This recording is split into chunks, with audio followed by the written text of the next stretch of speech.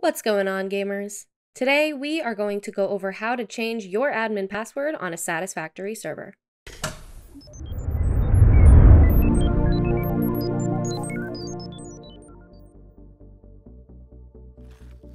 Before we get started, don't forget to like, subscribe, and click that notification bell to stay up to date on all future videos.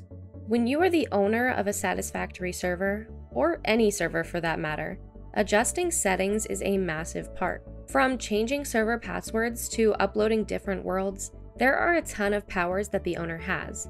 But in order to have access to these actions, you have to create your admin password so that the game knows that you have the power to make these changes. You can also give this password to other players that you want to give these privileges to. But as time goes on, whether you want to make your password a little easier to remember, or you want to change it to remove others who might have the password, knowing how to change the password time and time again will prove helpful in the future. Let's go over how to do it.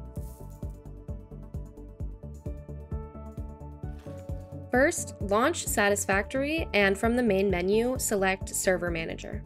You'll find your server and in the top menu, select the Server Settings tab. From there, press the Change Password button next to the Administration Password text, and enter and confirm the password that you would like to use.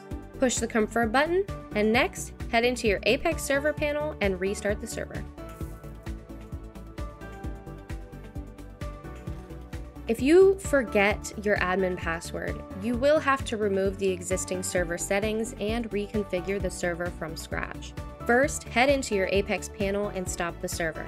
Then, in the FTP file access, go to Config, Epic, Factory Game, Saved, and Save Games. Here, select the server settings file and delete it. Next, you will have to restart the server and reset your admin password from the start.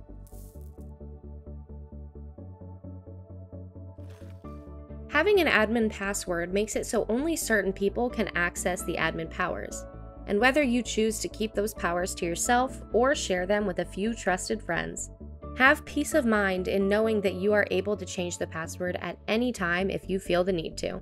That's all for this one, gamers. As always, I hope you have lots of fun. Thanks for watching. If you want to see more great content like this, then subscribe or click these videos. Until next time, gamers.